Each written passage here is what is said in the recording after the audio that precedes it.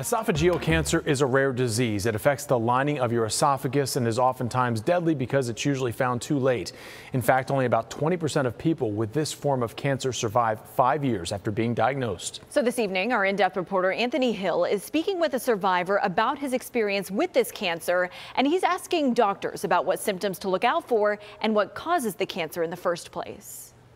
I suffered from uh, what I thought was, you know, mild uh, acid reflux for Craig Smith, 2021 is a year um, he'll never um, forget. Um, what he thought was just indigestion ended up being a deadly disease that claims the lives of most people who get it. It's more common than people know, and oftentimes when people find it, it's too late. Craig did what many people don't, and it saved his life. He decided to see a specialist to get down to the bottom of his symptoms, and when he did, he found out that he had esophageal cancer, this form of cancer attacks the lining of the esophagus, also known as the food pipe. The food pipe connects the mouth to the stomach. And then I needed to find a specialist, and I found that with Dr. Erim at Cleveland Clinic. This is Craig's doctor, Dr. Tolga Erim. He's a gastroenterologist and was the one who removed the cancer from Craig's esophagus.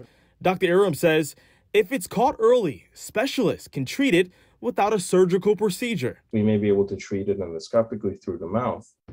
But in later stages, uh, you will need to have surgery to remove part of the esophagus. Conversely, if you wait too long, the cancer can get far enough to where surgery is no longer an option. It can be very difficult to know for sure if you have esophageal cancer, but doctors say chronic acid reflux can be a symptom. In the early stages, like like we said, that there's not many uh, symptoms. In the later stages, typically it's difficulty swallowing. So when you're trying to swallow food, uh, all of a sudden it feels like it's not going down as easily as it used to.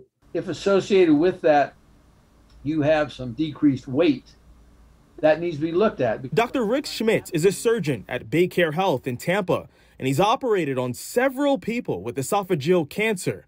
We'll get back to Dr. Schmidt in a second. But first, here are some statistics on how this form of cancer affects people. According to the American Cancer Society, this year, it's estimated that about 21,000 adults will be diagnosed with esophageal cancer just in the United States. Men are more at risk of having this cancer. In fact, it's the seventh most common cause of cancer deaths for men in the United States. It's estimated that about 16,000 people will die from this cancer in the United States this year alone.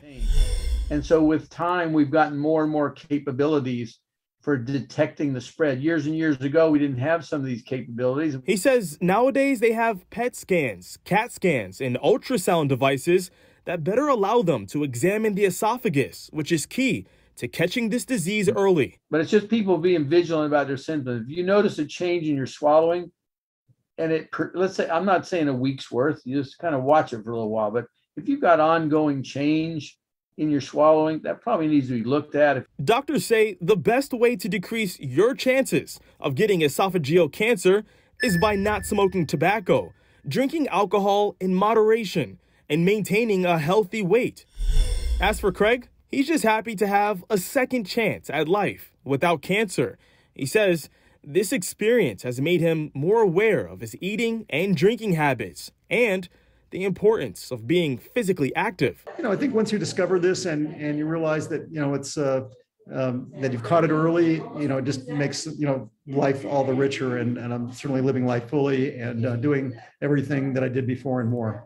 In Tampa, I'm in-depth reporter Anthony Hill. ABC Action News.